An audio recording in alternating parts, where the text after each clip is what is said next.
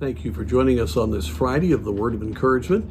And as you head into this weekend, I want to give you one of the greatest encouragements we can have as a believer. In fact, every morning as I have the opportunity to meet with the Lord, this is one thing that I always praise Him for and, and talk about with Him, and that is that uh, we have a wonderful intercessor for us. Uh, it's a just a tremendous encouragement when we think of all that he's done for us and how he is working on our behalf. And uh, we read in verse 25 of chapter 7 of Hebrews, Wherefore he is able also to save them to the uttermost that come unto God by him, seeing he ever liveth to make intercession for them. Back in uh, Hebrews uh, chapter 4, uh, you have the wonderful privilege we have to go boldly to the throne of grace to obtain mercy and find grace to help in time of need.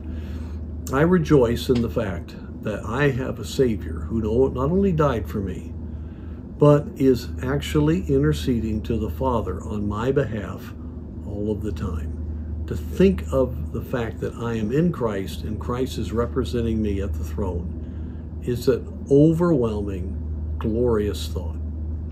And I want to encourage each of you to realize that this is something that in our lowest moments can be that which will get us out of the darkness and help us realize God knows exactly what we need. And Jesus is interceding for us. Also, we know that the Holy Spirit is making intercession with groanings which cannot be uttered. So we have the triune God who is very concerned about the smallest little issues in our lives, and there is work being done on their behalf to meet our needs to access that, we have to go by faith to the Lord. That's why it's so important to take extended time with the Lord, to understand His Word, understand what He's doing, and then to have that awareness that God does care and that He is uh, communicating in the Trinity on our behalf. Yes, you're that important, not because you're important in your worth, none of us are, but we're important now in the worth of Jesus Christ. We are a child of God. We have the inheritance of Christ and we have a position right there at the throne. And so we have the privileged position of being uh, co heirs with Jesus Christ, joint heirs with Him. And so God does care and He is interceding.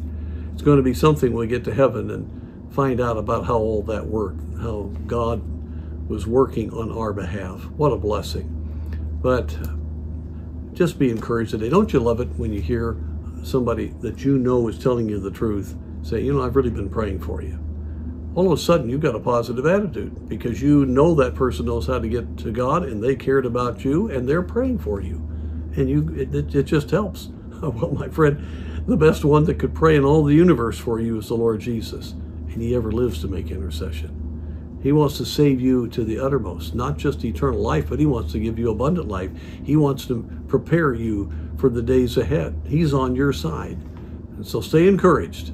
There's someone in heaven praying for you right now.